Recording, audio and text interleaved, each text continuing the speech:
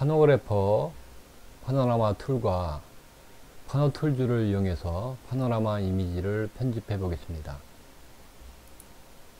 일반적으로 파노라마 tool로 어, 파노라마 사진 안에서 내가 원하는 위치를 추출할 경우에 추출할 이미지의 크기는 현재 열려져 있는 파노라마의 크기와 추출할 화각에 따라서 크기가 달라집니다. 만약에 화각이 더 커지면 이 위드값과 하이값도 어 마찬가지로 커져야 되는 거고요. 파노라마가 현재 만 픽셀짜리가 열려 있는데 위드값이 만약에 더 커지면 더 큰 파노라마가 열려지면 이 값도 변경이 된다는 겁니다. 그래서 추출할 이미지의 크기는 화각하고 현재 열려져 있는 파노라마 크기에 따라서 변경이 되는 거고요. 어, 일반적으로 width 값이 만이면 그리고 어, 화각이 90도이면 추출할 이미지의 사이즈는 만의 4분의 1 사이즈인 2500에 2500 사이즈가 어, 적당한 크기가 되는 것, 것입니다.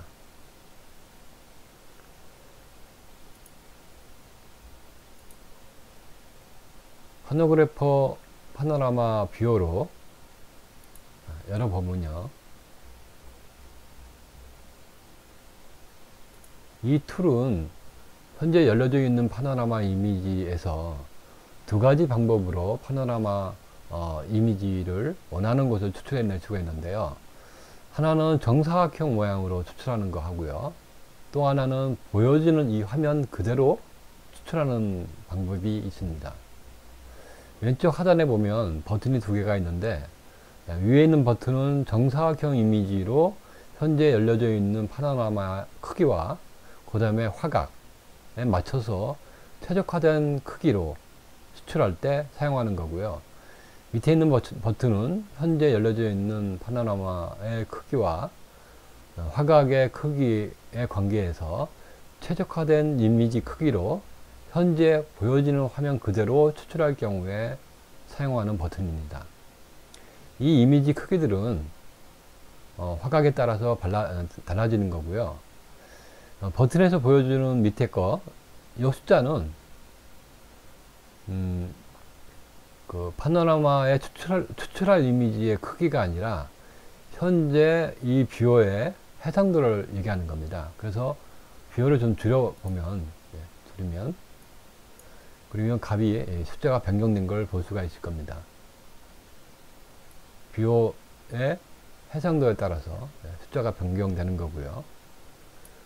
그런데 이 버튼을 클릭해서 카피되는 값은 이 숫자가 아니라 추출할 이미지의 최, 예, 최적화된 이미지 크기로 현재 보여지는 상태 그대로 추출을 해내는 겁니다.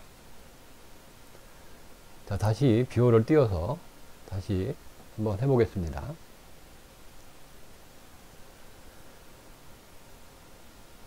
자, 현재 화각이 120도고요. 그리고 어, 요 값이 0이고 틸트 값이 0입니다. 그랬을 때 정육면체로 추출하려면 최적의 사이즈는 3만, 3333이 되는 거고요. 네, 얘를 복사해서 120도의 0도를 기억하고 포토샵의 필터에서요. 하나하나만 툴즈에서 익스트레스 명령어로 이 값이 3300에 3333에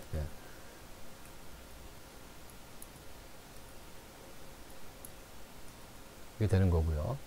포부값은 120도가 되는 거죠. 포부값은 나머지는 이제 똑같은 거고요. 이 상태에서 추출을 하면 120도의 화각으로 추출이 되면서 정육면체로 어, 추출이 됩니다.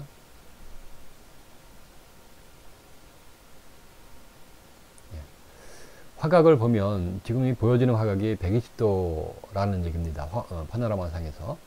자, 확인을 해보면 자, 좌측에 예, 수출된 좌측의 이 위치와 그 다음에 우측의 위치가 일정한 어, 어, 동일하죠.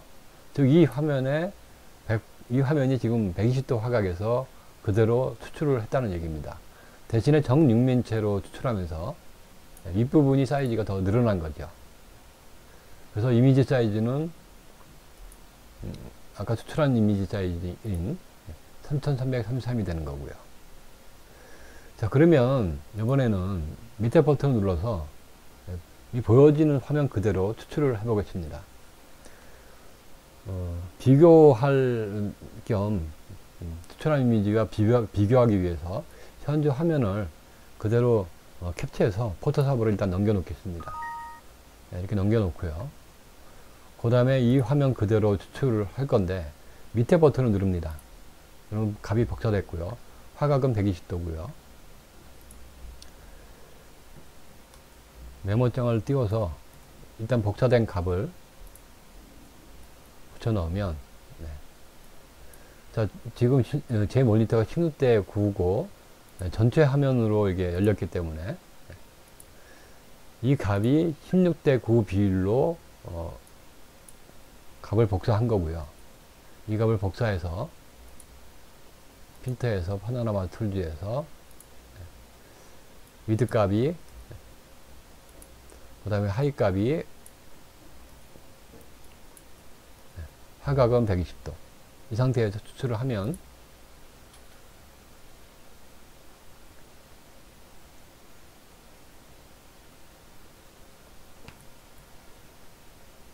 그러면 아까 전, 뷰어의 전체 화면 즉 이 이미지 상태를 캡처한 이미지하고 비교를 해보면 그렇죠? 네.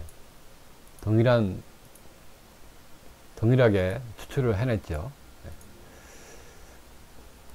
사이즈를 좀 변경시켜서 그러면 네, 사이즈를 좀 변경시켜서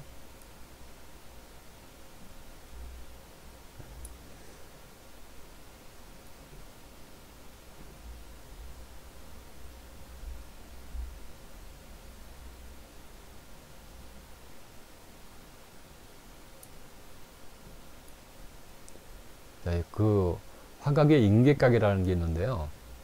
지금 현재가 현재 화각이 120도라 하더라도 화면상에서 지금 좌측 부분을 잘 보세요. 늘어나도 계속 화각이 유지가 됩니다. 파노라마의 화각은. 그러나 현재 120도로 되어 있는 화각에서 그 인계각을 창이 넘어서면 그러면 이미지가 창 안으로 들어가게 됩니다. 좌측 부분을 잘 보세요. 어느 상태에서 예, 인계값이 넘어가면 120도의 화각의 인계값이 넘어가면 파노라마 화면이 창 뒤로 가려지게 됩니다. 만약에 이 상태에서 어, 밑에 버튼을 눌러서 추출하게 되면은 이 모양 그대로는 추출이 되지만 화각은 가려진 화각까지 다 추출, 어, 어, 포함해서 추출, 추출되기 때문에 화면에서 보여주는 이미지 그대로 보여지지가 않고 어, 대신에 모양은 똑같이 추 출이 됩니다. 그래서 어, 만약에 내가 원하는 보이는 그대로 추출하고 싶으면은 현재 화각을 유지할 수 있는 창 크기 내에서 추출을 해야 됩니다. 여기도 마찬가지로 줄어들면 예, 밑에 부분이 가리게 되죠. 이 사람들이 어느 어느 상태에서는 이게 가려지지가 않는데 어느 정도로 늘어오면 가려지게 됩니다. 이렇게 여기가 인, 여기 이 정도가 인계각이라는 얘기입니다. 그럼 이 상태에서 제가 한번 추출을 해 볼게요. 예, 복사를 하고 화각은 그대로 120도고 예, 333이고요. 자 여기에다가 값을 예, 이거 지우고 복사된 값을 예, 붙여놓은 다음에 다시 한번 음, 추출을 해보, 해볼게요.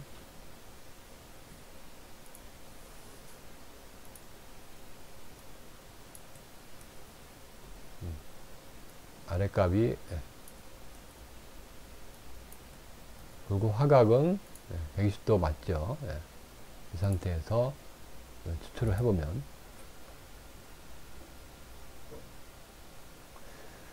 자, 현재 120도라는 화각에서 창 사이즈가 예, 창이, 창이 변경이 되지 않았기 때문에 좀 이미지를 한번 줄여볼게요. 변경이 되지 않았기 때문에 추출된 이미지를 보면은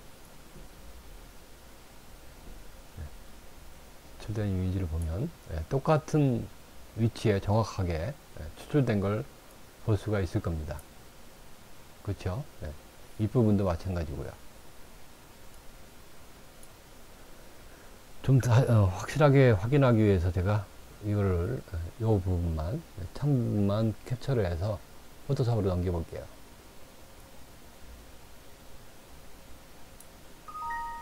넘겨보면 그리고 어, 비교하기 하- 쉽게 창 사이즈를 동일하게 해놓으면 자 보이는 그대로 추출이 된 것을 확인할 수가 있죠. 자 이렇게 보이는 그대로 보이는 화면 그대로 추출할 경우에는 아까도 말씀드린 것처럼 이 화각이 120도라고 한다면 만약에 화각이 뭐 90도일 수도 있고 뭐 그렇지만은 화각의 인계 변수를 넘어서는 비호에 지금 보면은 또, 또 비호 뒤로 뒷부분으로 어, 파노라마 이미지가 가려지기 시작하죠. 어느 한계 내에서는 가려지지가 않지만은 갈수록 이제 가려집니다.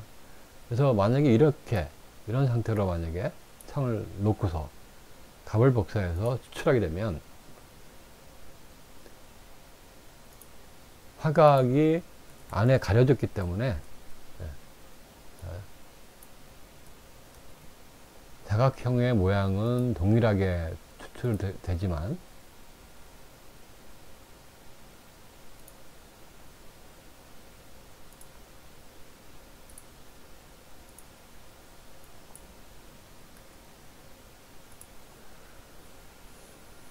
추출된 이미지의 어, 모습을 보면 가려진 화각, 화각까지 포함해서 자, 모양은 그죠?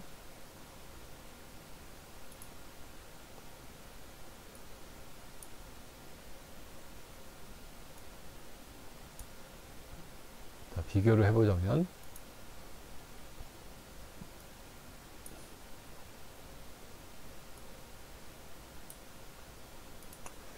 자, 모양은 파노라마 이미지하고 동일하게 예, 이 현재 보이는 화면 그대로 어, 비율이 그대로 추출됐지만은 이 그 창이 이 화각의 인계점 이하로 줄어들었기 때문에 창에 의해서 가려져 있는 화각까지 포함해서 어, 추출이 되는 것을 볼 수가 있을 겁니다. 그래서 만약에 내가 원하는 그 추출을 어, 보이는 화면 그대로 추출하고 싶으면은 이 현재 화각 화각이 어, 화각을 유지할 수 있는 창 크기 내에서 추출해야지만 예, 보인, 보여지는 화면 그대로 추출할 수 있는 겁니다. 자, 이렇게 두 가지 방식으로 추출을 할 수가 있고요.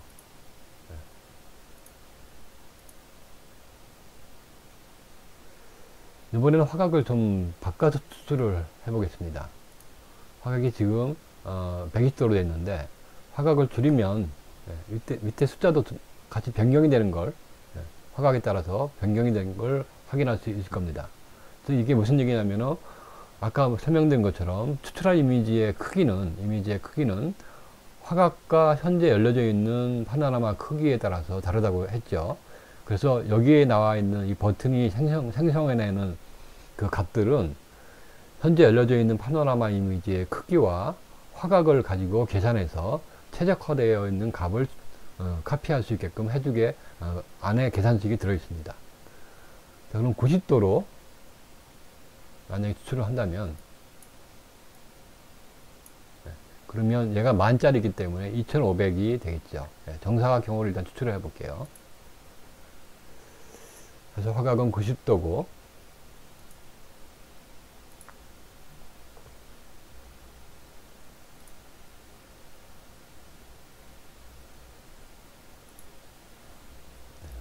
2500, 그쵸? 2500이 되는 거고, 화각은 90도.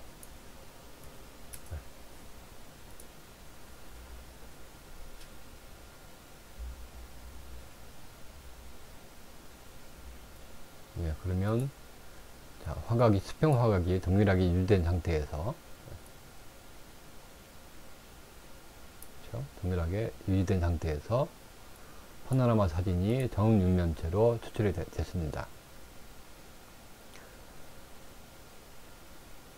자, 그러면 실제로, 어, 이 파노라마 툴로 이미지를 추출해서 편집 작업을 한번 해보겠습니다. 일단 뷰어로 열어서요.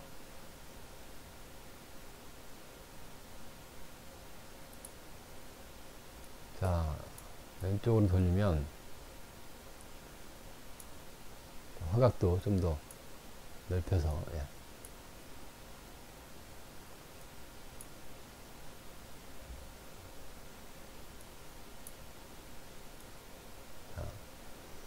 제가 이 이미지를 보이는 화면 그대로 추출해서 보이는 화면 그대로 추출해서 어, 이 부분과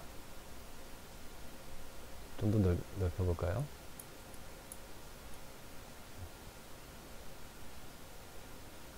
우측의 요 부분과 요 부분을 다른 이미지로 한번 편집을 해 보겠습니다. 자, 이 상태라면 이제 값을 복사해야 되겠죠? 예. 우선 크기를 복사하고요. 그 크, 복사된 크기를 메모장에다가 일단 붙여놓고요. 그 다음에 어, 화각은 108도죠. 화각도 마찬가지로 어, 메모장에다 붙여놓고요. 그 다음에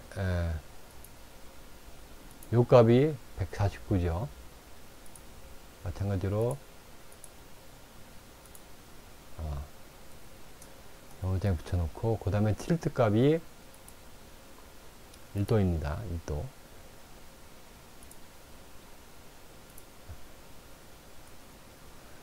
자, 그래서 이 상태에서 네. 물론 여기서 이제 뭐 이렇게 복사를 해도 되는 거지만 자 이렇게 해서 어, 필터에서 파노라마 툴즈에서 이식트에서 자 이 크기가 가로 사이즈가 3000이고요 그 다음에 세로 사이즈는 1688 화각은 네, 108이죠. 108. 있죠? 네. 그 다음에 요 값은 마이너스 149.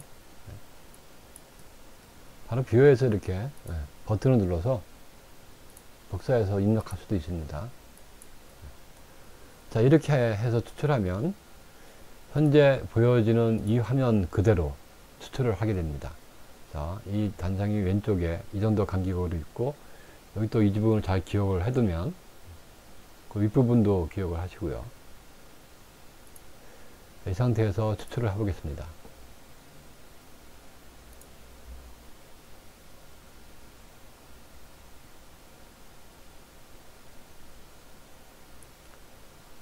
자, 화면 보여지는 화면 그대로. 그렇죠? 왼쪽도 보면. 위에도 보면. 네. 위에는 조금 음, 다르네. 왜냐면 이게 그 음, 화면 비율 때문에. 예. 자 어쨌든 이렇게 이제 추출이 됐습니다. 됐으면 여기에다가 제가 합성을 해 보겠습니다. 이 사진을 갖고 와서 카피한 다음에 네, 붙여 놓고요 그 다음에 또 하나는 사진을 갖고 와서 붙여놓겠습니다.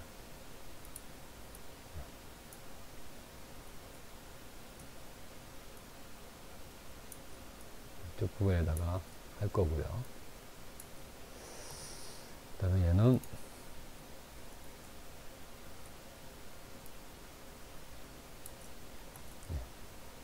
그리고 세밀하게 작업하기 위해서 네.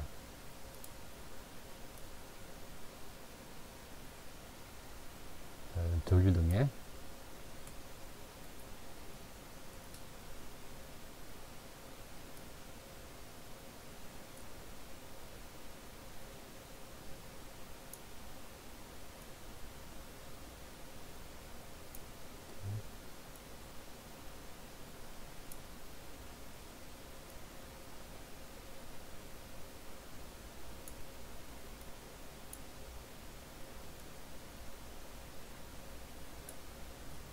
이렇게 합성을 해 놓을게요.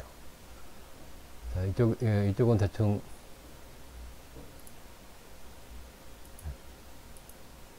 합성이 됐고요.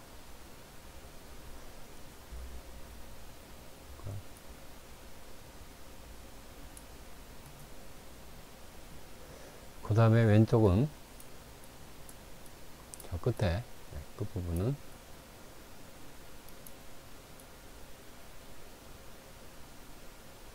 또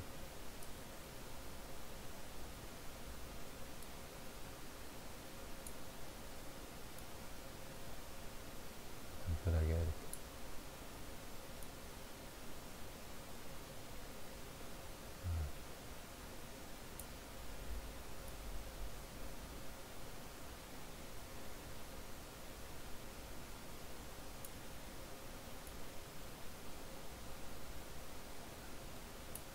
대충 이렇게 담벼락에 있는 것처럼 합성을 했습니다. 자, 그래서 이렇게 두, 어, 합성된 사진은 예, 병합을 하고요. 얘를 예, 그대로 파노라마에 넣어 보겠습니다. 인서트. 오케이 누르면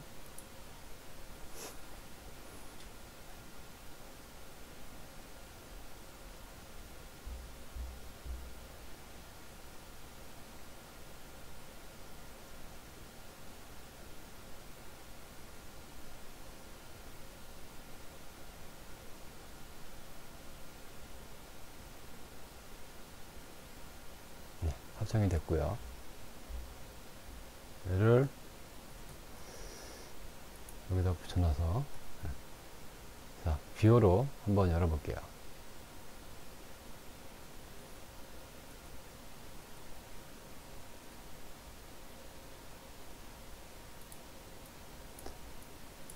여기 합성이 됐죠? 그렇죠? 네. 됐고요. 여기도 마찬가지로 합성이 됐죠. 왼쪽 귀퉁이 너무 좌측에 있는 여기 밑에 부분을 좀 그 합성을 줄여줘야 되는데 잘 안 됐네요. 다시 한번 해볼게요. 네, 지금 보니까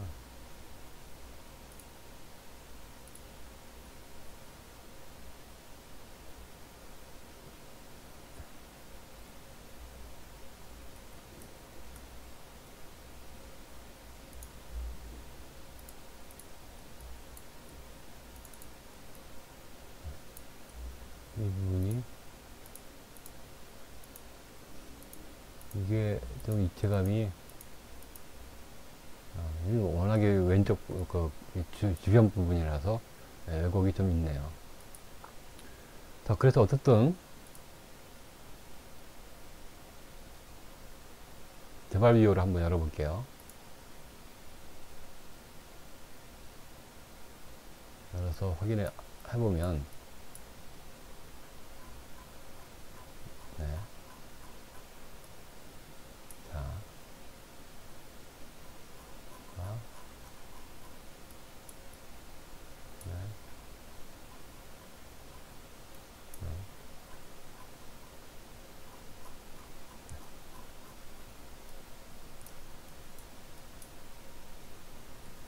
이렇게 합성을 할 수 있고요.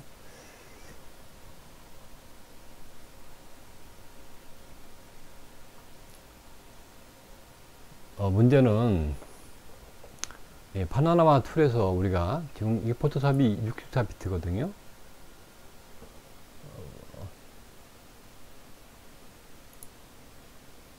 여기에 지금 아, 64비트 버전인데 파노라마 툴도 어, 보는 것처럼 예, 64비트 툴입니다. 그렇죠? 예, 왜냐면 이걸 32비트는 이렇게 열리지가 않죠. 예. 근데 64비트에서 우리가 파노라마 이미지를 추출해 갖고 수정을 할 경우에 어, 센터 부분은 수정이 되는데 예, 주변부가 수정이 안 되는 그런 오류가 있었죠. 그쵸? 그래서 그것 때문에 골치 아픈 분들이 꽤 예, 계실 텐데 그 부분에 대해서 제가 설명을 드릴게요. 예, 파노라마 툴의 64비트 툴을 세팅은요, 세팅값을 좀 변경을 시켜야 됩니다. 예, extract에서요, 어, 일단 추출을 해가면서 하나하나 설명을 드릴게요.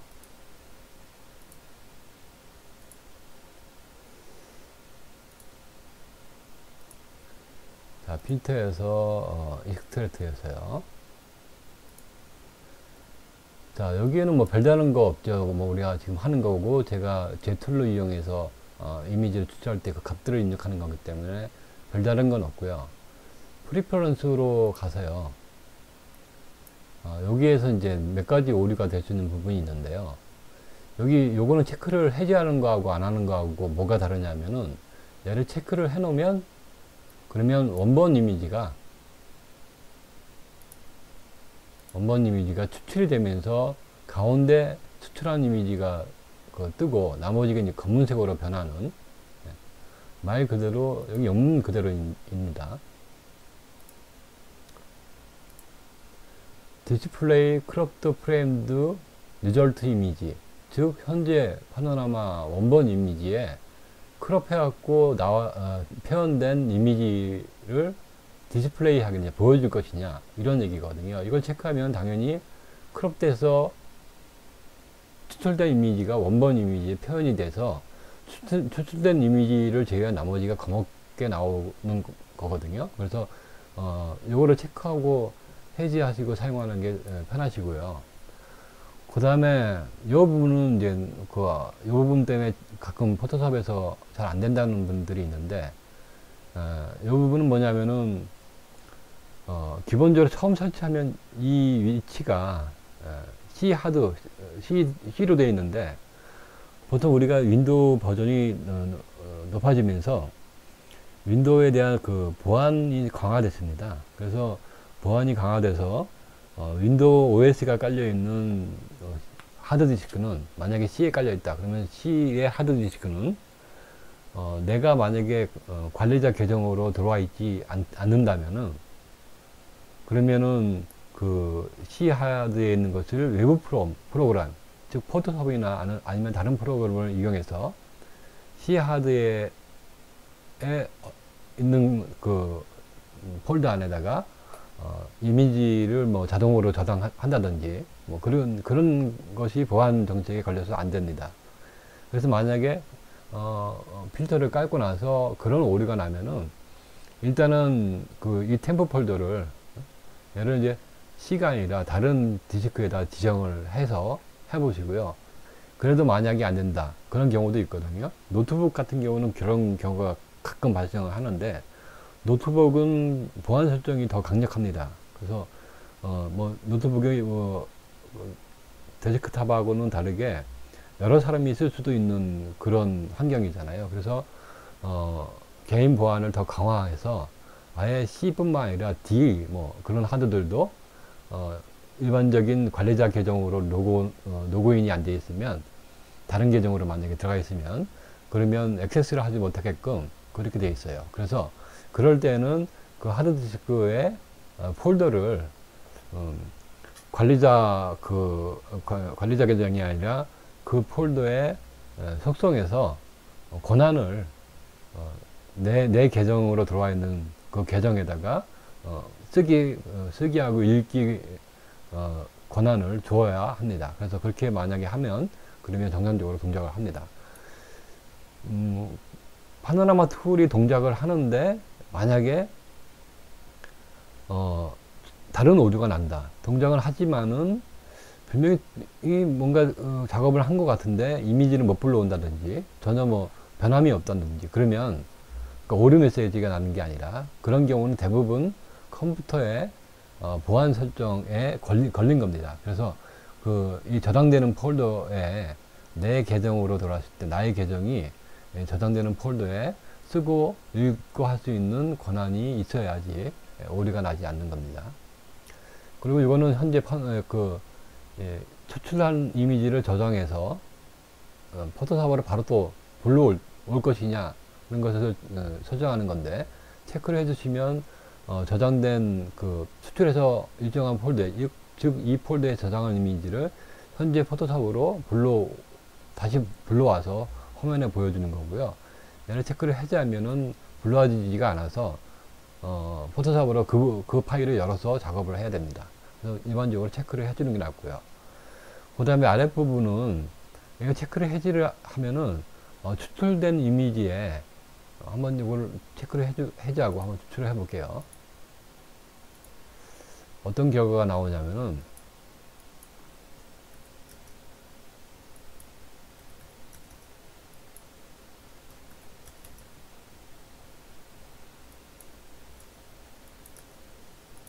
저, 어, 추출, 저그 옵션을 해지를 하면 추출한 이미지에 마스크가 생깁니다.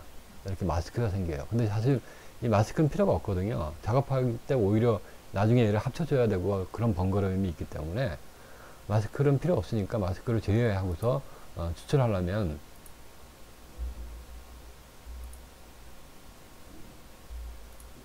얘를 반드시 체크를 합니다. 그래서 일반적으로 세 개를 체크를 해서 사용하는 게 좋고요. 예, 그러면 음, 설정이 다 끝났고 어, 패스트 트랜스포는 그냥 5% 해, 해 놓으시고요. 예, 감마도 그냥 1로 해 놓고요.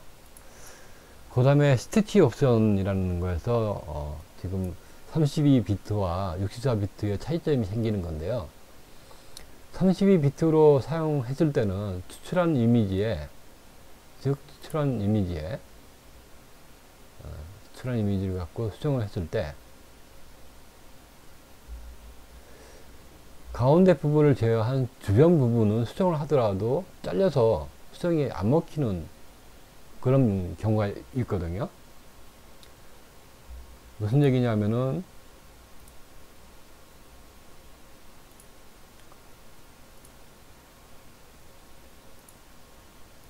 보통은 이렇게 설정을 해놓고 씁니다.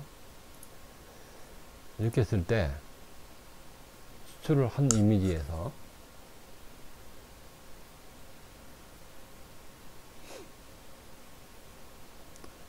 현재 이제 확인을 하자면 확인을 하기 위해서.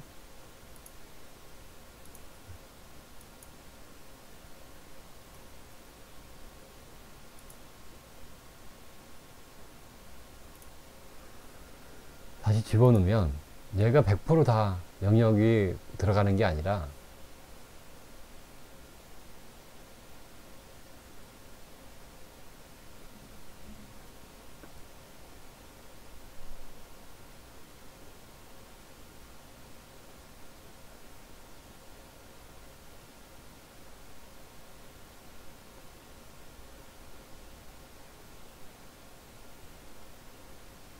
네, 이렇게 된 것을 비호로 확인을 해보면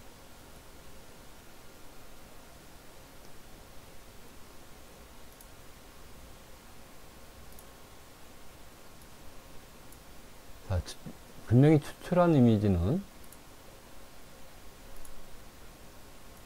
여기 여성분 보이죠? 네.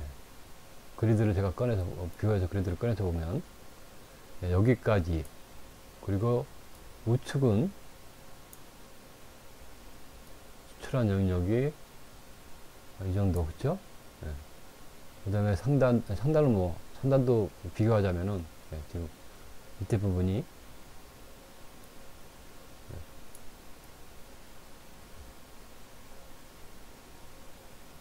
자, 이 부분.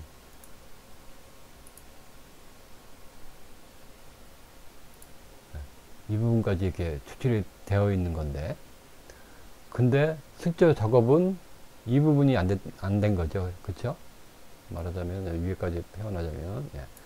가운데 부분의 일정 부분만 예, 수정된 것이 먹히고 나머지는 먹히지 않았다는 거죠 그쵸 이런 오류가 있었는데 이걸 해결하는 방법은 어, 64비트에서 사용할 때는 이렇게 하지 마시고요. 자, 똑같이 이제 제가 추출을 해 볼게요. 여기에 이제 예, 그 어, 원래 일반적으로 사용하는 방식으로 추출한 거고요. 두 번째 이제 추, 추출을 제가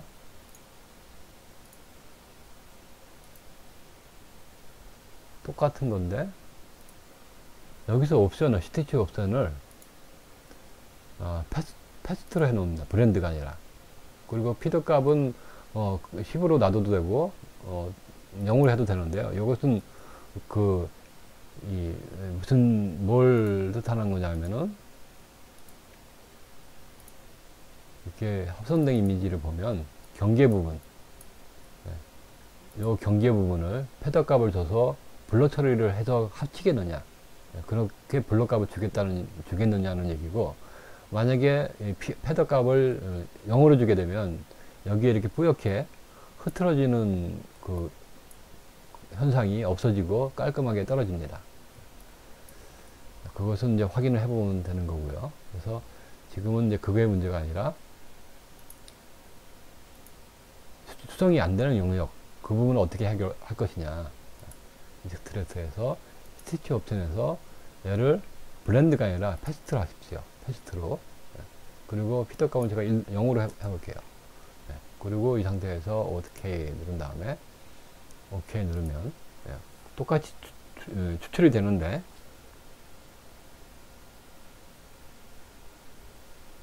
자 확인용으로 레이더, 레이어를 하나 더 세우고. 그 다음에 줄여서 합친 다음에 아까하고 어떻게 다른지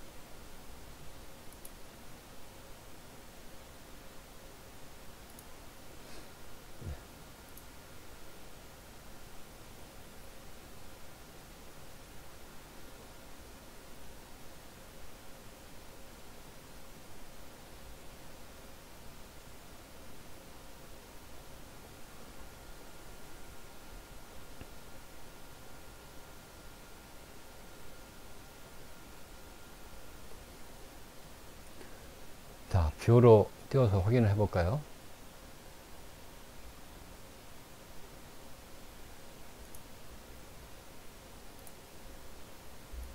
자, 확인을 해보면 추출된 거하고 네, 추출된 영역하고 합성된 영역을 보면 네, 100% 먹었죠, 그렇죠? 네, 이, 이 부분을 이 어, 여자 부분을 확인을 해보면 네. 그러면 그렇죠. 네. 좌측 부분도 마찬가지로 좌측도 100% 수정이 먹, 먹인, 어, 수정이 들어간 것을 볼 수가 있습니다. 차이점을 이제 어, 두 가지를 보면 음, 얘하고 이거죠. 이놈하고 얘를 보면 그쵸? 네. 얘가 그 브랜, 어, 브랜드로 브랜드로 추출한 거고요. 즉 옵션을 스티치 옵션을 예, 브랜드 모드로 할 경우에 예, 전체 그 100%가 안 먹는 그 현상이 나온 거고요. 이거는 이제 어, 스티치 모드에서 어, 패스트로 예, 패스트로 해서 할 경우에 확인을 해보면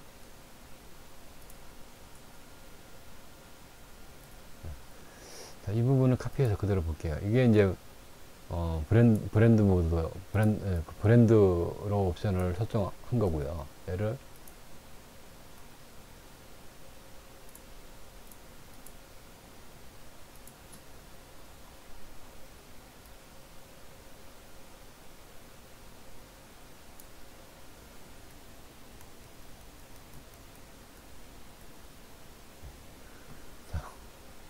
바로 이런 차이가 나는 겁니다.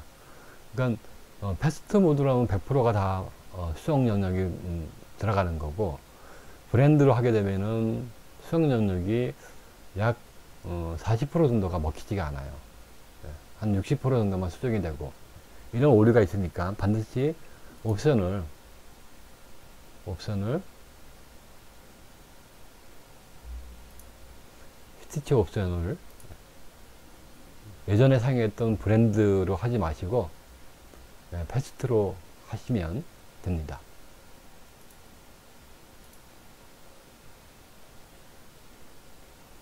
자, 이것으로 파노라마 툴에 대한 사용법을 어, 마치겠습니다.